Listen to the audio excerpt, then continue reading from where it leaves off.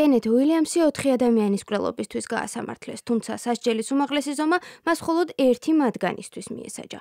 მსხვერპლის სესილ ბორენის ცოლი ამბობს, რომ მისი ქმარი საკუთარ სახლში მოგლეს. My husband had no idea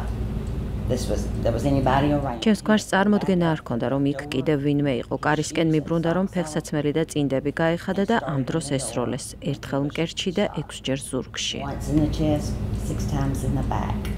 ოჯახის წევრები ამბობენ, რომ სამართლიანობას დიდხანს ელოდნენ. ჩვენი სამართლებრივი სისტემით ეს კაცი სიკვდილით უნდა დაისაჯოს, სწორედ ასე უნდა მოხდეს.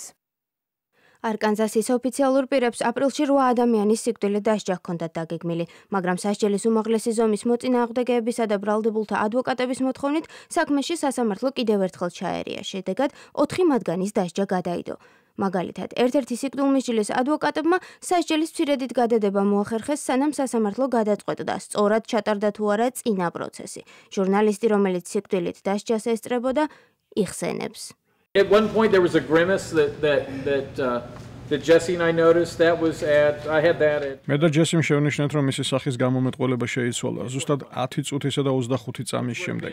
მას მე რაც მას სუნთქვა გაუჩერდა, მაგრამ არ ვიცი, იყო თუ არა ეს ტკივილით გამოწეული.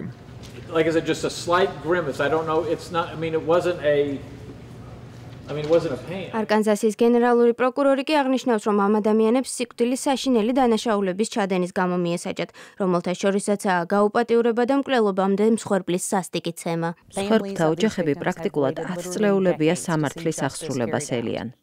სასჯელის უმაღლესი ზომა ამერიკის 19 შტატში გაუქმებულია, თუმცა 31 შტატში კვლავ კანონითაა დაშვებული.